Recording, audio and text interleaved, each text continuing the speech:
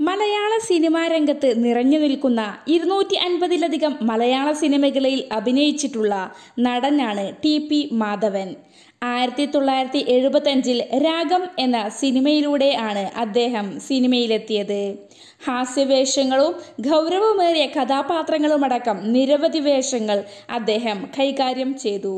Gandhi Bhavan rural film institute ചലച്ചിത്ര അവാർഡിൽ മികച്ച നടിക്കുള്ള പുരസ്കാരം സ്വീകരിക്കാനെത്തിയ നവ്യ നായർ ഗാന്ധി ഭവനിൽ വെച്ച് ടി പി മാധവനെ കാണാനിടയായി. ഇതിനെക്കുറിച്ച് കണ്ണു നിറഞ്ഞുകൊണ്ട് നവ്യ പറഞ്ഞതിങ്ങനെ. ഇവിടെ വന്നപ്പോൾ തന്നെ ടി പി മാധവൻ ചേട്ടനെ കണ്ടു.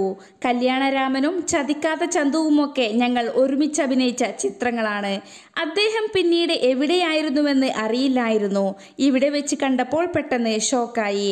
എന്റെ അച്ഛനോളം അമ്മയോളം അതിനേക്കാൾ മുകളിലായി ഞാൻ ആരെയും കണക്കാക്കിയിട്ടില്ല നിറകണ്ണുകളോടെ നവ്യ പറഞ്ഞു.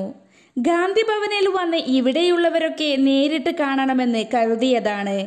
പക്ഷേ പരിപാടി തുടങ്ങുന്ന സമയത്തെ എത്താൻ കഴിഞ്ഞുള്ളൂ. ഇവിടെ വന്നപ്പോൾ തന്നെ ടി പി മാധവൻ ചേട്ടനെ കണ്ടു. കുറച്ചു കാലമായിട്ടുള്ളൂ അദ്ദേഹം ഇവിടെ വന്നിട്ട്.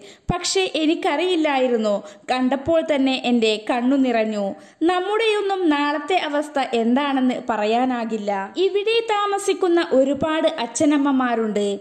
തന്റേതല്ലാത്ത കാരണങ്ങളാൽ ഇവിടെ എത്തിയ കുട്ടികളുണ്ട്. വിശാല മനസ്കരായ വ്യക്തികൾ ഈ സ്ഥാപനം നടത്തുന്നതിൽ അതിയായ സന്തോഷമുണ്ട്.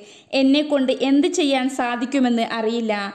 പക്ഷേ എന്റെ കഴിവിന്റെ പരിധിക്കുള്ളിൽ നിന്ന് എന്തെങ്കിലും തരത്തിൽ പ്രയോജനം ലഭിക്കുമെങ്കിൽ ഇവർക്കായി ഒരു നൃത്തം അവതരിപ്പിക്കാൻ ഞാൻ ആഗ്രഹിക്കുന്നു.